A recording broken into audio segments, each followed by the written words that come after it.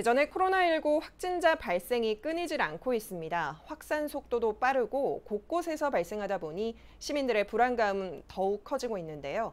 취재 기자와 함께 자세한 내용 알아보겠습니다. 임성준 기자 안녕하세요. 안녕하십니까. 네, 대전의 추가 확진자가 계속 이어지고 있습니다. 재확산이 시작된 초반보다는 줄었지만 여전히 많은 확진자가 발생하고 있는데요. 지난 밤 사이에도 추가 확진자가 발생했죠? 예, 그렇습니다. 오늘 오전 긴급 재난 문자를 통해 확인하셨을 텐데요. 지난 밤 사이 대전에서 두 명의 추가 확진자가 발생했다는 소식입니다. 이들 두 확진자는 모두 기존 확진자의 접촉자인 것으로 확인됐습니다. 먼저 116번 확진자부터 말씀드리겠습니다. 116번 확진자는 동구 산성동에 거주하는 50대 여성입니다. 네. 이 여성은 65번 확진자의 접촉자인 것으로 조사가 됐습니다. 이 확진자는 지난 19일부터 자가격리 중이었고 자가격리 중에 확진 판정을 받은 것이기 때문에 접촉자는 다행히도 없는 것으로 파악이 됐습니다. 네. 117번 확진자는 서구 도안동에 거주하는 50대 여성입니다. 이 확진자 또한 110번 확진자의 접촉자인 것으로 확인됐습니다. 방역당국은 이들의 정확한 이동 경로와 접촉자 수에 대한 역학조사를 진행 중입니다. 또한 이 두 확진자는 천안의료원으로 이송돼서 입원 치료에 진행 중에 있습니다. 네, 그렇군요. 어제 저녁에도 추가 확진자가 발생했는데요. 그런데 학생이었죠. 초등학생과 중학생이 확진 판정을 받으며 등교에 대한 우려가 더욱 커진 것 같은데요. 예, 그렇습니다. 지난 8일 초중고교가 등교 수업을 결정한 이후에 대전에서 처음으로 학생 확진자가 발생한 건데요. 네. 확산세가 잠잠해지던 찰나에 교육부는 등교 수업을 결정했습니다. 시민들은 이 결정에 대해서 우려 섞인 목소리를 나타냈는데 결국은 이 우려가 현실로 된 상황입니다. 이들은 114번과 115번 확진자입니다. 충남중학교 3학년 학생과 천동초등학교 5학년 남학생인데요. 이들 확진자는 113번, 기존 113번 확진자의 자녀인 것으로 확인이 됐습니다. 네. 어제 확진 판정을 받았죠. 113번 확진자는 어린이집 원장으로 확인이 됐습니다. 어린이집부터 초등학교를 넘어서 이제 중학교 그리고 또한 어제 전해진 소식인데 고등학교 두 개 고등학교의 통학버스를 운전하는 차량 운전자가 확진 판정을 받으면서 교육당국은 더욱 긴장을 하고 있는 상황입니다. 네. 그나마 다행인 사실이 있습니다. 114번 그 조금 전 말씀드렸던 충남중학교 3학년 남학생의 경우에는 22일부터 원격 수업을 진행해서 학교에 등교하지 않았습니다. 그래서 학교에 아직까지는 접촉자가 없는 것으로 조사가 됐습니다. 네. 하지만 이 학생은 수학학원 등 두 곳의 학원을 등원한 것도 확인이 됐는데요. 115번 확진자의 경우에도 천동초등학교 5학년 학생인데 이 학생은 지난 22일부터 24일까지 등교를 했습니다. 학원도 4개소를 등원한 사실이 확인이 됐고 방역당국은 접촉자가 있는 초등학교 5학년 그 초- 천동초등학교 5학년생에 대해서 전수조사를 실시하기로 결정을 했습니다. 네.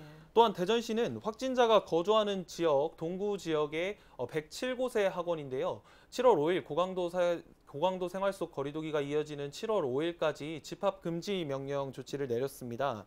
어제 113번 확진자가 발생한 후에 대전시에 있는 1204곳의 어린이집이 휴원 조치가 들어갔는데요.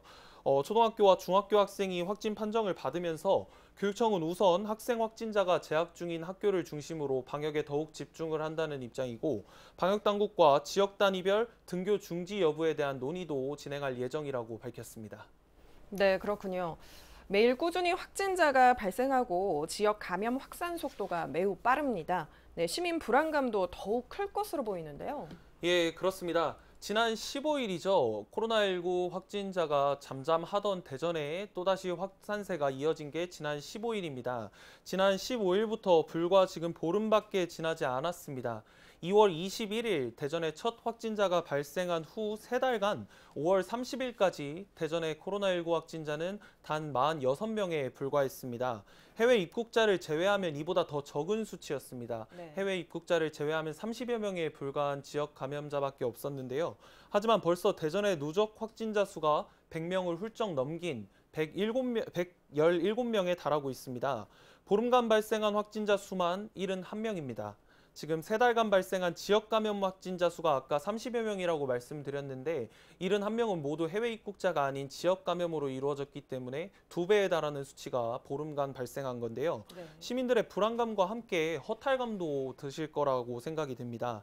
대전의 확진자는 다양한 장소를 통해 발생하고 있습니다. 다단계 발을 시작으로 다단계 업소에서 시작이 됐지만 이제는 교회와 학교 등 다양한 시설과 연관되고 있습니다. 산발적인 확산이 이어지고 있는 건데요.